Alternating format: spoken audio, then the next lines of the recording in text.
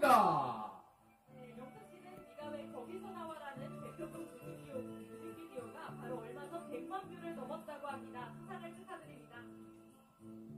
영탁이 대상 받았네. 진심으로 축하드립니다. 우리 영탁 씨. 언제 봐도 밝은 이미지, 수려한 외모, 많은 분들의 사랑을 지금 긁어 모으고 있습니다. 점점 잘생겨지고, 점점 젠틀해지는 우리 영탁 씨.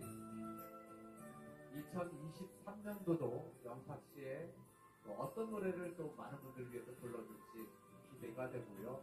영탁 씨의 올해 2022년도에 멋진 노래 많이 불러주신 것에 대해서 감사의 마음을 담아서 또 이렇게 여러분께 전달했습니다. 많은 영탁 씨 팬들이 또 이렇게 영탁 씨 팬들 함성 시작! 수상 소감 듣겠습니다.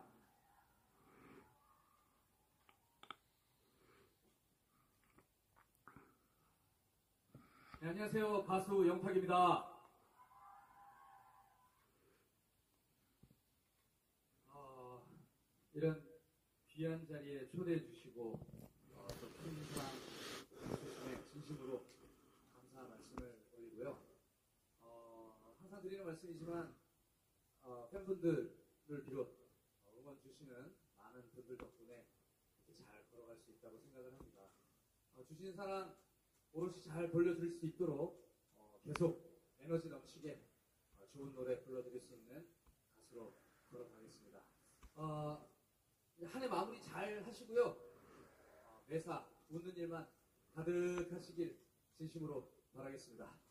감사합니다. 고맙습니다. 영탁 씨 화이팅! 영탁 화이팅! 예.